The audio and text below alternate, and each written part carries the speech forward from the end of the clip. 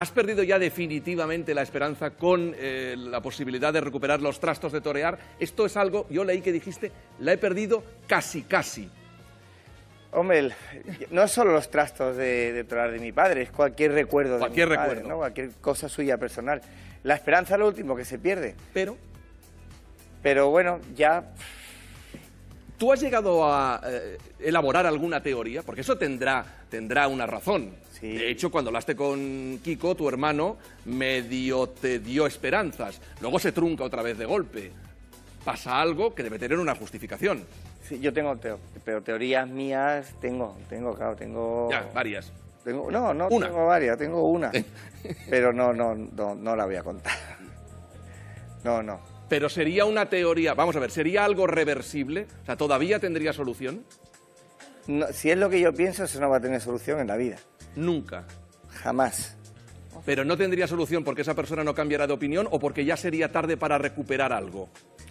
No, no, que si la teoría que yo tengo es, es cierta, eso, eso va a ser así toda la vida. Otra cosa es que, que, bueno, que, no sé, que de pronto pase algo en Un el milagro. universo, un milagro, pero vamos, yo no creo, porque además es que no le encuentro sentido. No le encuentro sentido por qué negarle a dos niños, uno de o- on- 10 años y otro de 7, Ujú. cosas de su padre. Yo no le veo ningún sentido.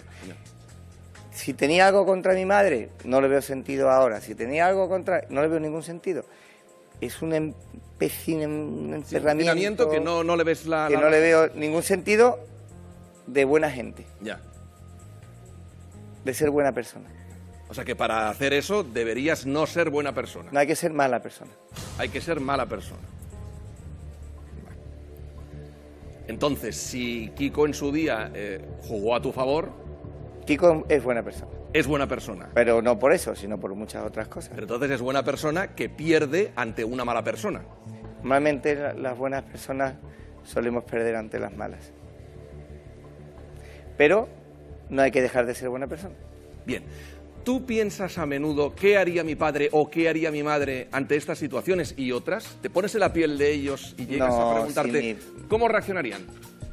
Yo eso lo, lo- lo que sí pienso alguna vez, que, que espero que dentro de muchos años eh, todos nos vamos a morir, pero esa conversación en algún momento podrá tener Isabel con mi padre, esa me gustaría a mí verla por un agujerito.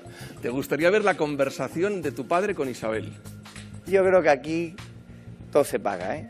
No sé si en esta vida o en la otra, pero cuando uno es bueno es malo y tanto que dice que, que quería a mi padre, en algún momento dado tendrá que explicar muchas cosas.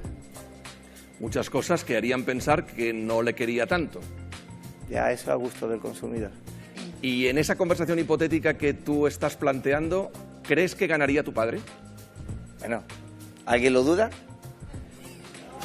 Bueno, como no, pero como dices que las malas personas a veces ganan, Ganan momentáneamente, Vale. pero no ganan, no ganan ni en tranquilidad ni en conciencia limpia, ¿no? Creen que ganan porque creen que se está haciendo con la suya, pero en el fondo el que es mala persona eso lo lleva dentro y eso eso no eso no eso no, no es ni sano. Hay veces que los hijos sentimos que los padres que ya han fallecido nos envían como, como mensajes, como, como fuerzas, como, como datos. ¿A ti eso te pasa? ¿no? No te pasa. Eso es muy místico, ¿eh? No, no, no. ¿Eh? La Ouija. No, hace falta la ouija. Oye, tira por aquí, tira por allá. No, yo creo que yo tengo mis ángel, yo tengo un ángel de la guarda que me protege, me ha protegido en muchísimas cosas, pero yo creo que mi ángel de la guarda, el mío, mío, mío, es mi abuela, mi abuela Carmen. Tu abuela Carmen. Sí. Esa es- yo creo que es el ángel de la guarda mío. Luego, por supuesto, mi padre y mi madre, ¿no? Y mi tata. Pero ¿Cuántos el- ángeles tienes? Es que necesito un montón. Es que soy torero, es que Ya, ya, ya, necesito. ya, Cada temporada me cargaba dos o tres. Ya. Y Lourdes, eh, ahí está, ¿no? Guapetón, como en la carpeta. ¿Por dentro está cascado? No, yo creo ¿No? que por dentro va cada vez a mejor. Sí, no, pero, Sí. pero las heridas. Este hombre hace un tiempo tuvo un, un accidente tremendo en, Sí. en una plaza. Una No, por dentro dice físicamente, por Físicamente dentro. hablando, Yo te veo muy bien, yo creo No, que... pues estoy cascado. ¿eh? Está cascado. ¿no? No, que se queja más, que no, que no. Es que me quiere mucho. Ya. No, pero para todo lo que tiene está estupendo. Sí, la verdad. No sé, poco se queja. Tampoco se queja vuestra hija que sea feliz con las gallinas que me habéis contado durante la publicidad, que está rodeada de gallinas, perros, que esto parece la granja de Playmobil. Ella ahí es feliz y ahí ella va a crecer. Claro, yo creo que eso mm, es que lo va a tener que vivir sí o sí, así que menos mal que le Sí gusta. o sí. Y suerte que hay una madre que también lo entiende perfectamente y estamos viendo las imágenes de esos peques que se van a dormir, pues como todos, revoltosos, viendo el Rey León, unos durmiendo más que otros, la madre se encarga del... Del que no duerme. Del que no duerme y el padre... de- Le ha tocado, ha del que tocado, duerme. le ha tocado. A mí me ha tocado la suerte de conoceros un poquitín más. Muchísimas gracias por estar los dos por primera vez en un plató. Lourdes, Fran, Fran. Lourdes. Feliz. Navidad. Por cierto, vais a hacer un viaje. He leído en una revista. Nos vamos de viaje los cuatro, en otra revista.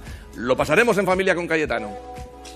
Entonces, ¿va Cayetano también al viaje? o- No se sabe, nunca. Ah, no puede se sabe. pasar de todo, puede pasar de todo. Ya. La Navidad es muy larga, vamos a pasar una, la Nochebuena en, en casa de la familia de Lourdes y luego nos vamos ¿De viaje? de viaje los cuatro, con Cayetana y Carmen. El pequeño se va a quedar en tierra. Se quedan en tierra. pequeño. Bueno, destrozando las cosas. Sí. Fuerte aplauso para ellos, gracias. para Fran y Lourdes.